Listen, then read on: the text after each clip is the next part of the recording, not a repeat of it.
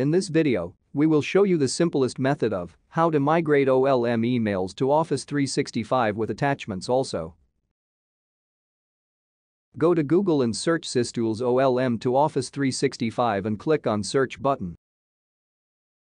When the result appear click on SysTools OLM to Office 365 Migrator.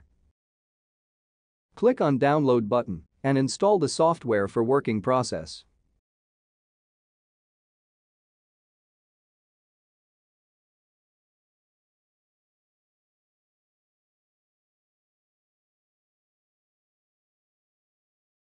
Click Add File button to add OLM file from the desired location on your local system. Then click the Browse button and select the file from the desired location. After choosing the desired file click Open button. After that click on Add File button. The software provides an option to load any previously scanned files, click Yes to load the files or click No to proceed.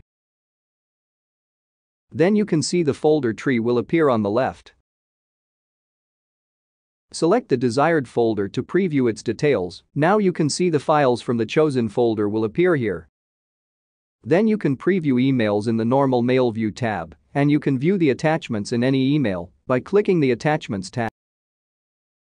Select the Export option from the top navigation menu. Now you can see the Export options window appears. Select the folder for migration. Go to the export option list, there are multiple options available, choose as per need. We are selecting Office 365 option. Select Enter Destination Mailbox option, and you can enter manually Office 365 credentials to log in your account. Provide Destination Office 365 account option to upload a CSV file that contains account credentials. Let's continue with entering the destination mailbox option. Click on the Next button to continue the process.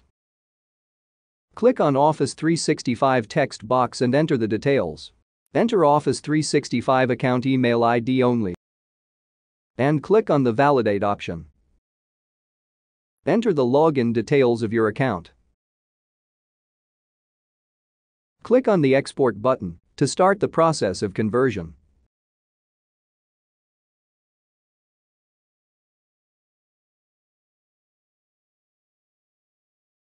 Export process completed successfully. Click on OK button. Click on Save button and, and enter details for saving a file.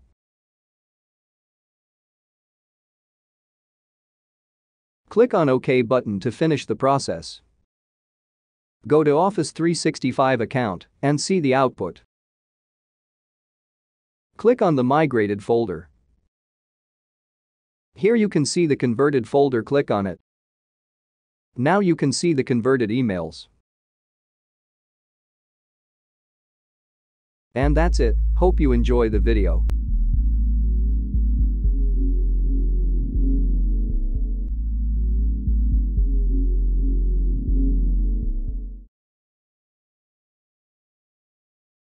Log on to the given product page.